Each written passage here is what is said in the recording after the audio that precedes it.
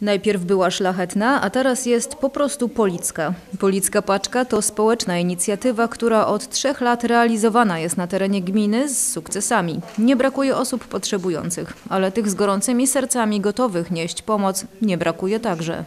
Policka paczka polega na tym, że proszę Państwa, e, wszyscy zainteresowani, którzy chcą wspomóc e, mieszkańców Polic, a w szczególności seniorów e, samotnych, czy rodzica samotnie wychowującego dziecko chcą wspomóc, e, organizujemy dla nich artykuły spożywcze, długoterminowe, e, konserwy, mąka, cukier, kawa i tym podobne, e, artykuły chemiczne, czyli proszki, płyny do prania, do płukania, pasty do zębów, kremy, wszelkiego rodzaju artykuły, te, które są niezbędne do normalnego, takiego podstawowego funkcjonowania dla tychże osób.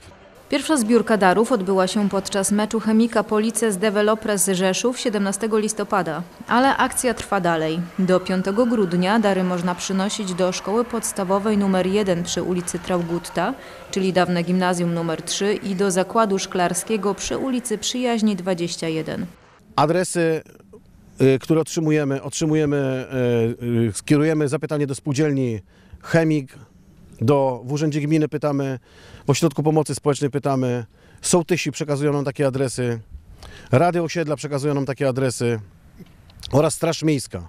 Staramy się dotrzeć do tych, staramy się dotrzeć do tych ludzi. Nie zdarzyło się jeszcze tak, e, w momencie kiedy mieliśmy podane na przykład 42 adresy, do 42 e, zainteresowanych osób dostarczyliśmy te paczki.